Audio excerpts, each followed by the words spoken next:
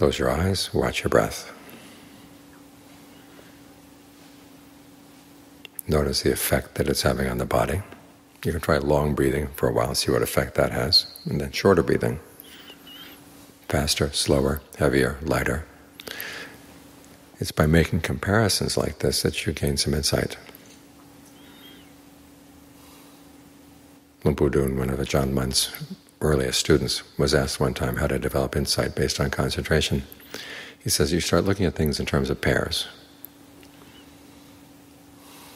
You try one thing, and then you try the opposite, and then you decide which is better.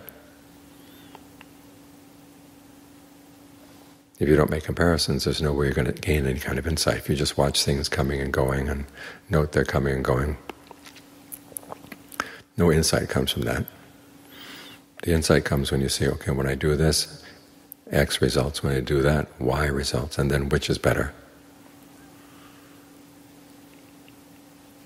It's in this way that meditation becomes a skill, and your whole approach, approach to the practice becomes a skill as well, based on your own powers of observation.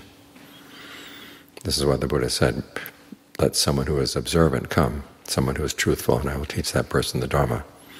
You have to observe.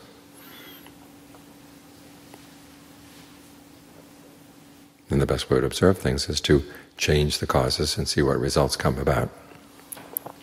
So with the breath, you can try different kinds of breathing. With the mind, you can try focusing in different ways. You can try different ranges of awareness. You can fill the whole head. You can fill the whole torso. You can fill the whole body. Lots of things you can compare. And over time you get a better and better sense of which is better. And you pursue the better until it gets better and better still.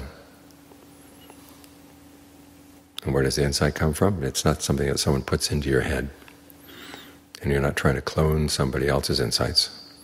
You're trying to gain some insight into what you do and the results of what you're doing